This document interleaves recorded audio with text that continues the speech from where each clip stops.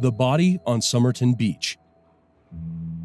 On December 1st, 1948, a man's body was discovered on Somerton Beach in Adelaide, Australia. The body was found lying on the sand, with his feet crossed and his head propped up against the seawall. The man was estimated to be in his mid 40s and was well dressed, wearing a suit, tie, and polished shoes. There was no identification found on him.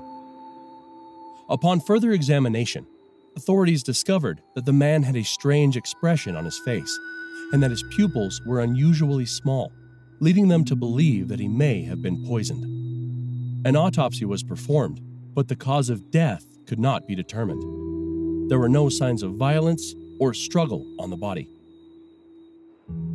Investigators then searched the man's clothing and found a scrap of paper in a hidden pocket sewn within the man's trousers.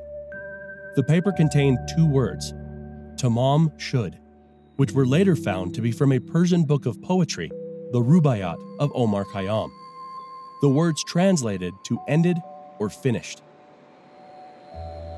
A copy of the same book was later found in the back seat of an abandoned car near the beach, with some lines in the book underlined with a code that is yet to be deciphered. The book also had a phone number and an unidentified code written on the back cover.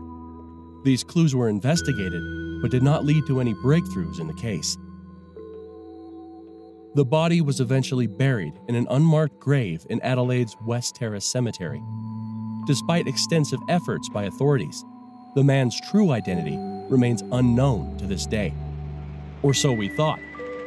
But recently, a professor at the University of Adelaide, Derek Abbott, teamed up with U.S. forensics expert Colleen Fitzpatrick to analyze the Somerton man's DNA, using hairs found inside a plaster model of his face.